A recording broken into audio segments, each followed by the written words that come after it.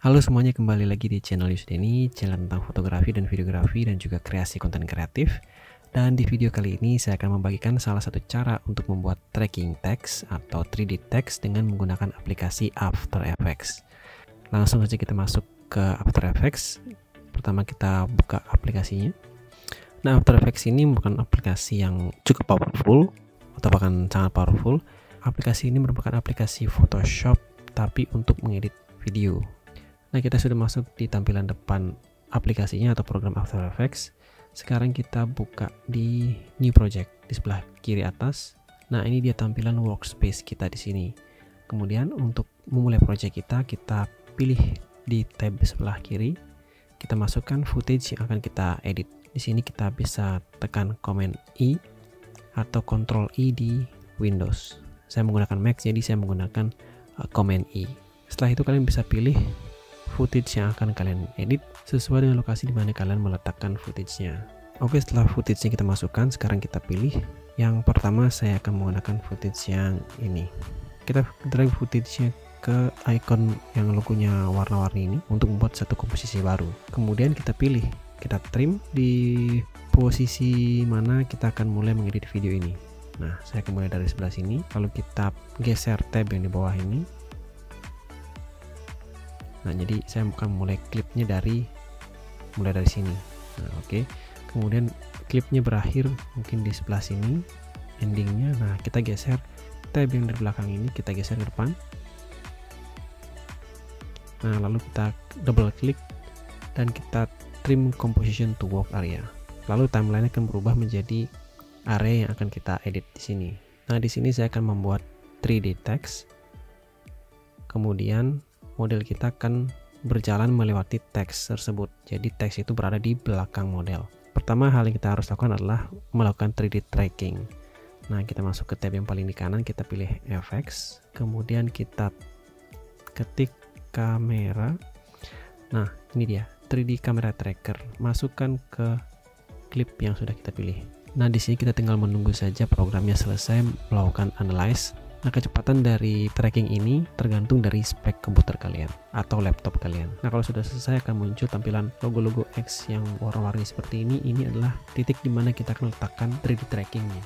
Di mana saya akan meletakkannya di oke di sebelah sini. Lalu kita klik dan juga setelah muncul dua uh, tiga titik plus seperti ini kita double klik atau klik kanan kita create text dan kamera Nah, akan muncul teks seperti ini. Lalu kita pilih teks sini. Di sini akan muncul tiga aksis yaitu X, Z, dan Y atau Y. Berdirikan teksnya di sini menggunakan aksis X. Nah, seperti ini.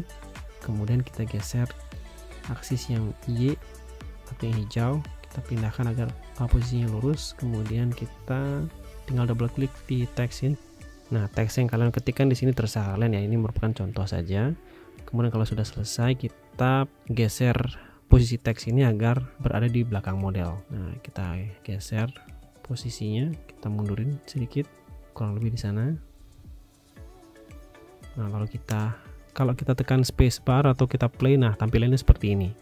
Teksnya nempel di plane yang sudah kita pilih tadi. Nah seolah-olah teksnya itu nempel di tanah atau di rumput di mana model kita sedang berjalan. Nah oke. Okay.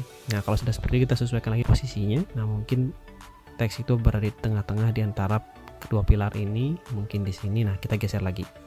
Kita geser. Kayak di atas jadi seolah-olah di tengah frame. Ini kita play lagi. Oke nah sekarang kita akan memindahkan model agar modelnya berjalan di depan teks. Nah bagaimana caranya? Cara yang lama kita akan melakukan masking. Nah, di After Effects ini ada tools yang sangat powerful untuk menseleksi subjek, yaitu namanya rotoscoping. Hal yang kita lakukan pertama adalah kita masuk ke klip di sini, klip utamanya, kita double klik atau klik kanan, lalu open layer. Nah, aplikasi akan membuka layer di sini. Di sini tadi komposisi tempat kita mengedit dan ini layer utamanya akan kita gunakan untuk melakukan rotoscoping. Setelah itu kita pilih tool sini, roto brush, kita zoom sedikit. Nah, sekarang kita pilih subjek ini. Pada saat rotoscoping ini kita harus menggunakan resolusi yang penuh ya. Jadi kita pilih di view resolusi full. Nah jadi ini bukan resolusi asli dari video kita. Nah sekarang kita lanjut ke seleksinya.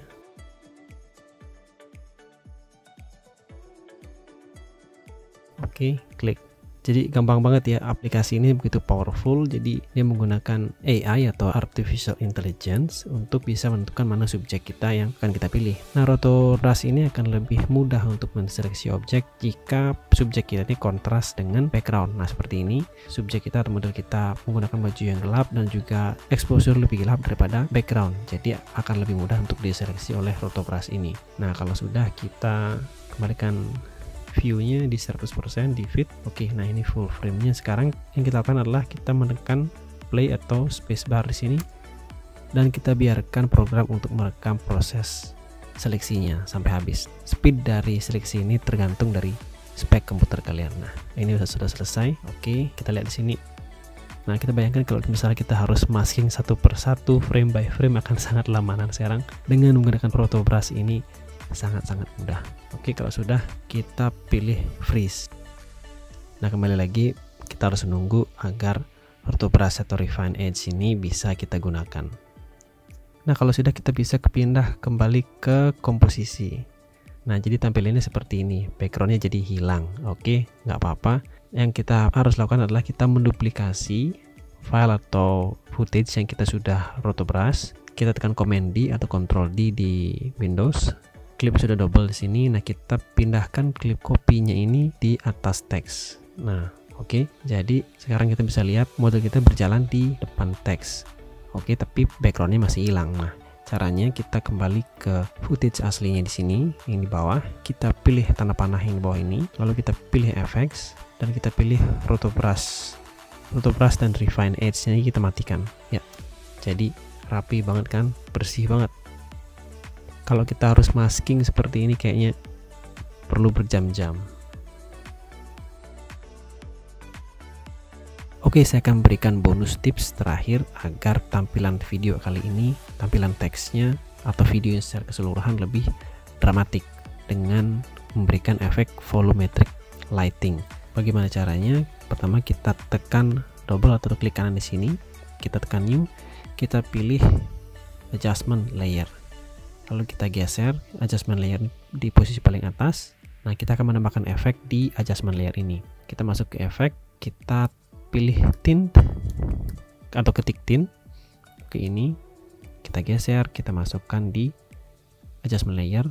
Nah klipnya akan menjadi berwarna hitam putih. It's okay. Kemudian kita tambahkan lagi efek yang lain yaitu curve.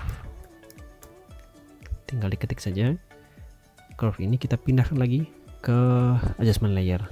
Nah jadi setiap kali kita menambahkan efek akan masuk di daftar FX control. Oke nah sekarang kita edit di efek curves ini. Kita pilih titik yang paling bawah ini kita geser ke kanan. Oke sampai semuanya gelap.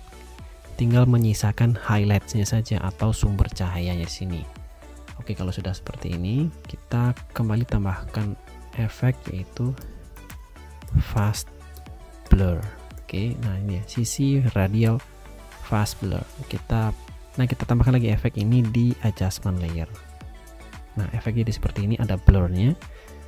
Nah kita geser kita pilih di efek radial fast blur ini kita pilih uh, icon ini. Lalu kita geser oke misalnya kita letakkan di sini jadi sinar jadi dramatis gitu loh. Atau sumber sinarnya jadi dramatis oke? Okay? nah setelah ini kita pilih di adjustment layer di mode blendingnya kita rubah menjadi screen. Nah oke okay, jadi tampilannya jadi seperti ini. Ada efek sinar yang muncul dari bagian highlightnya. Nah nah hasil videonya seperti ini dengan menggunakan 3D camera tracker dan juga seleksi subjek menggunakan rotobrush Nah, di sini saya contohkan ada dua video yang lainnya menggunakan teknik yang sama, tetapi dengan gerakan kamera yang berbeda. Nah, kalian bisa bereksperimen dengan video-video yang kalian miliki. Kalian bisa gunakan ini menjadi opening di vlog kalian atau di video kalian atau di produk video kalian atau apa pun terserah kalian. Oke itu semua untuk video kali ini. Semoga kalian suka semoga bermanfaat. Jangan lupa like komen di bawah dan juga subscribe channel ini karena akan ada banyak video-video tutorial yang akan saya bagikan kepada kalian. Terima kasih sudah menonton video ini sampai habis dan see you on the next video